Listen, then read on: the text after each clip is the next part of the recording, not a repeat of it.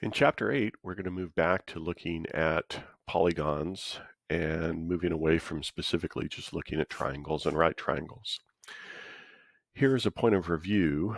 When we have a polygon, we have a number of vertices of the polygon.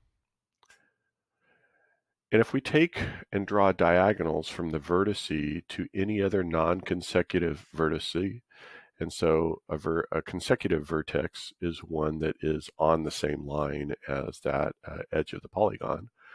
We're able to break our polygon then into multiple triangles. This becomes the basis for being able to determine the sum of the measure of all of the interior angles. We've seen this formula before, n minus 2 times 180, where n is the number of sides minus 2 times 180 gives us the total sum of all of the angles inside of that polygon.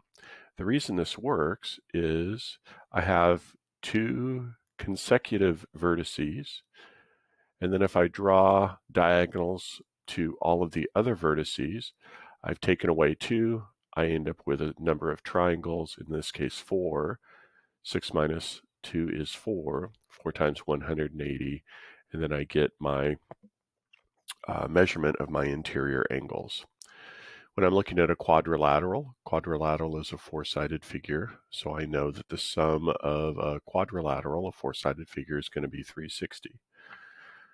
Triangles 180. I have two triangles in a quadrilateral. If I were to draw that out and draw my diagonal, I have two triangles here. With those two triangles, I get 360 degrees total for the measurement of my interior angles. Now, one of the things to keep in mind is that the measure of the angles are not all necessarily the same. In the past, we've looked at the idea of regular polygons. And a regular polygon is equilateral and equiangular. All the sides are the same measure and all the angles are the same measure. That does not have to be true for my n minus 2 times 180 to work. In this case, I have an eight-sided figure. I can see not all of the angles or sides are going to be the same, but still, when I apply my n minus 2 times 180, I get a total measurement of all of the angles of 1080 degrees.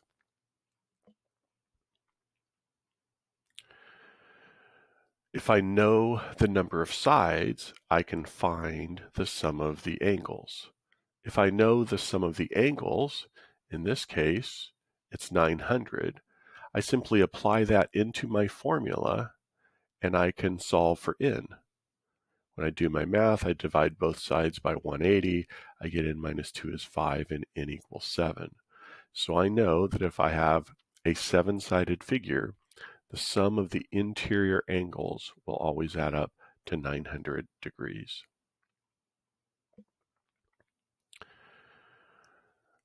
What that does then is it allows me to solve for the measurement of angles within that polygon. In this case, I have a four-sided figure.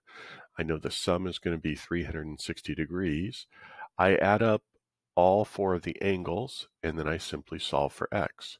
So I know in this case, x is going to be 72 degrees. In this example, I have a five-sided figure. So I'm going to have 5 minus 2 times 180, and that's going to end up giving me 540 degrees. Now I know this plus this plus this plus these two, and those are going to be the same. So we would set this up to say 2x, this is x, this is x, I have 2x, plus 93, plus 156, plus 85. That's going to all equal 540 degrees. And now I can add that up, move it over here. I'll divide both sides by 2, and I'll be able to solve for x.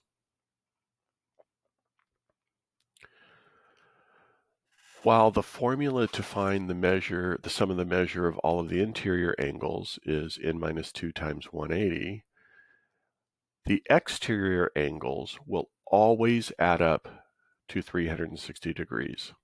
It doesn't matter if it's four sides or 400 sides.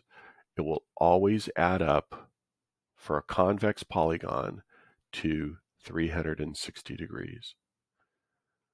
What that does is again allow me to solve for uh, exterior angle measurements. Remember the exterior angle is essentially created by taking a side and extending it out.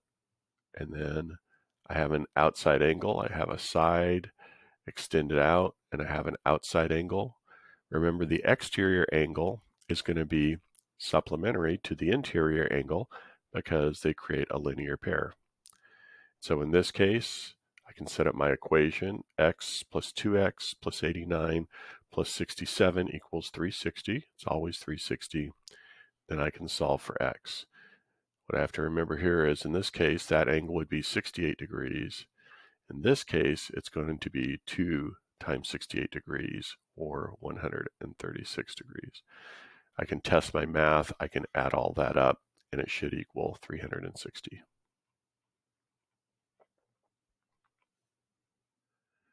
In lesson 8.2, we're now going to be looking specifically at parallelograms. And remember, a parallelogram is defined as a quadrilateral where both sets of opposite sides are parallel.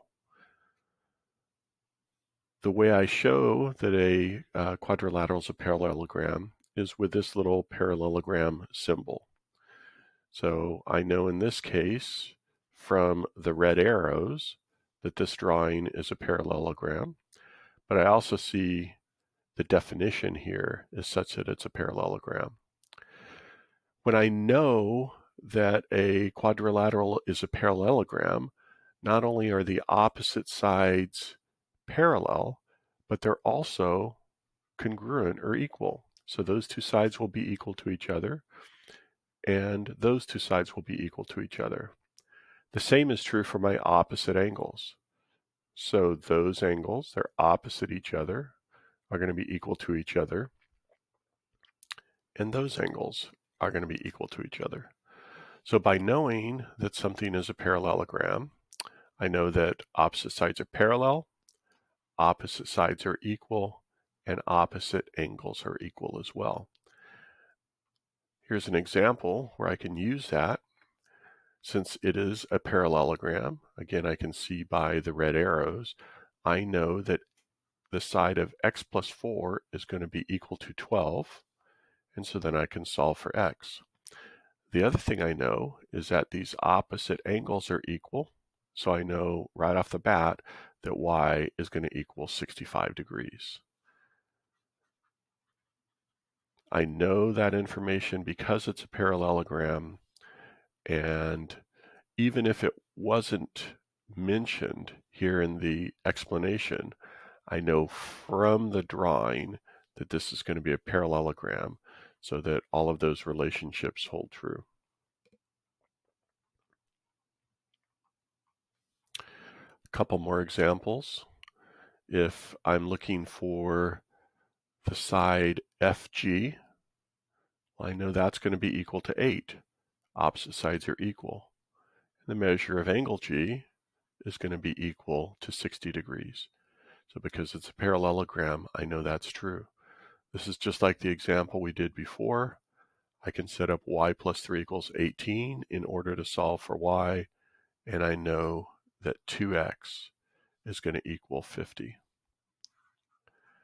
As we've done many times in the past, we we can use our relationship of two parallel lines and a transversal to tell us something else.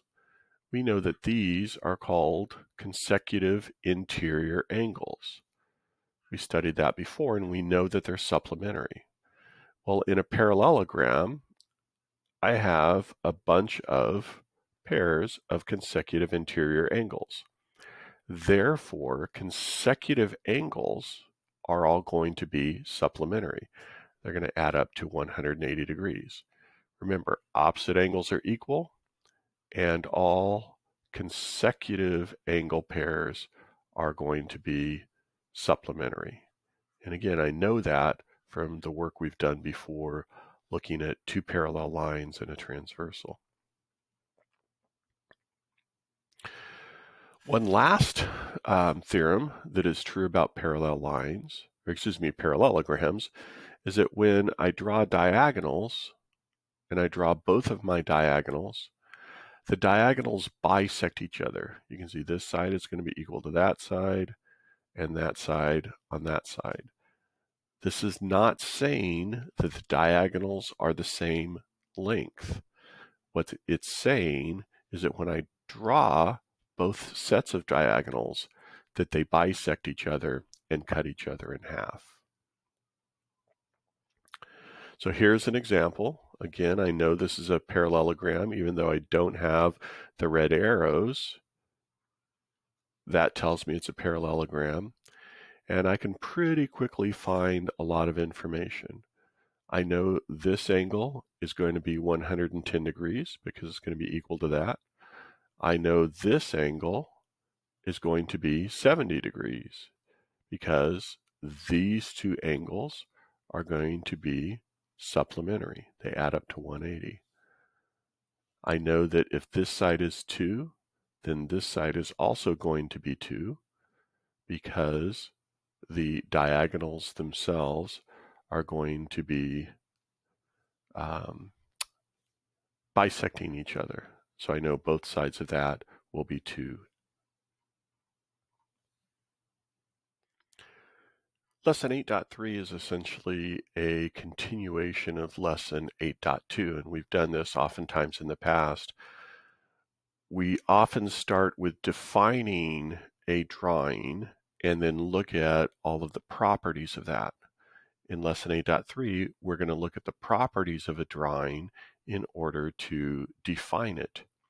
So these first two theorems tell us that if I know I have a four-sided figure and the opposite sides are all going to be equal, those two are equal, those two are equal, then I know by definition I'm working with a parallelogram. Same thing is true if I know I have two sets of opposite angles being equal, then again, I know by definition that this quadrilateral is going to be a parallel, a parallelogram. So my four-sided figure, opposite sides are equal, parallelogram, both pair of opposite angles are equal, also a parallelogram. One other thing to remember is that a rectangle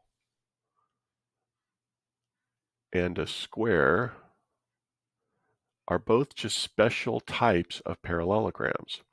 Opposite sides are equal, opposite angles are equal, so they still fit all of the properties of a parallelogram. They're just special cases of them.